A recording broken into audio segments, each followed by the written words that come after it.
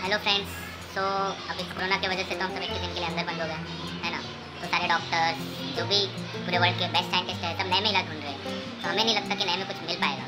जो भी मिलेगा रिसेंटली पुराने इसमें ही मिलेगा क्योंकि हर बार, हर चीज़ पुराने से शुरू होती है। तो मेरा सभी से, यहाँ तक कि हर देश के हर वो मंत्री, मुख्यमंत्री, प्रधानमंत्री प्राइम मिनिस्टर जितने भी है, चाहे वो हमारे मोदी जी है या डोनाल्ड ट्रंप है, जैसे एक ही गुजारिश है कि नई चीज़ों को छोड़ के पुरानी चीज़ों में इलाज होना चाहे पुरानी चीज़ें ही हर बार काम आती है तो पुराने दस्तावेजों को खोला जाए, उसी में इलाज मिलेगा।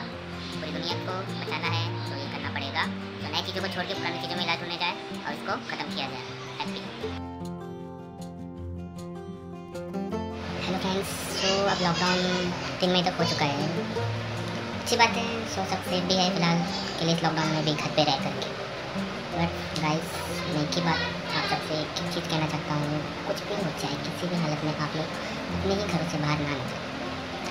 इसलिए क्योंकि एक इंसान के वजह से उसका प्रणि का परिणाम सभी को भुगतना पड़ सकता है। क्योंकि ऐसा है कि ये जो कोरोना वायरस है ये ज़्यादातर इफ़ेक्टिव उन्हें कर रहा है जो कमज़ोर है। हम्म, ज़्यादा कमज़ोर है उन्हें जल्दी इफ़ेक्ट कर रहा है। रिसेंटली एक पुलिस ऑफिसर को की डेथ हो गई दिल्ली में। जैसे डॉक्टर्स को भी कोरोना हो चुका है फ़िलहाल पुलिस वाले को भी कोरोना हो चुका है। उन्हें हो रहा है जो आपकी सेवा कर रहे हैं जो आपको देख रहे हैं।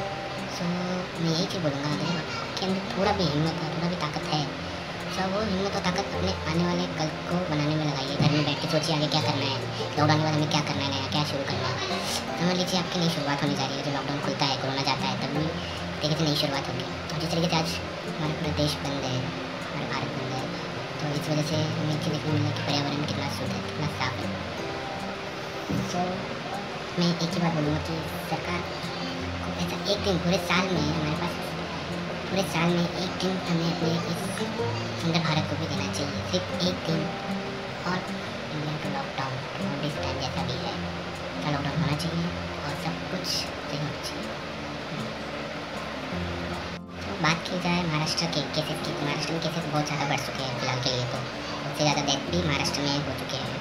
तो इस वजह से मैं इतना बोलना चाहूँगा कि महाराष्ट्र में जो भी आगे होने वाला है, जो भी दुकानें खुलने वाली है, जो भी जिस तरीके का गवर्नमेंट हमारी जो नेशनल गवर्नमेंट है, जो डिसीज़न ले रही है, उस पर आगे क्या हो सकता है, क्या नहीं हो सकता, उसको ध्यान में रख करके please please social distancing follow कीजिए, आप सब सुरक्षित रहेंगे। और एक और चीज़ जब हर छोटे बच्चे सोच रहे हैं कि स्कूल बंद है, हमारा वैकेशन ख़राब हो रहा है तो ऐसा नहीं है। और जब उन्हें चाहते क्या वैकेशन हमारा ख़राब हो रहा है तो घर पर रह करके ही कुछ क्रिएटिविटी करें, घर में रह कर कुछ अच्छा करें, कुछ अलग ढंग से कुछ चीज़ें प्रेजेंट करें।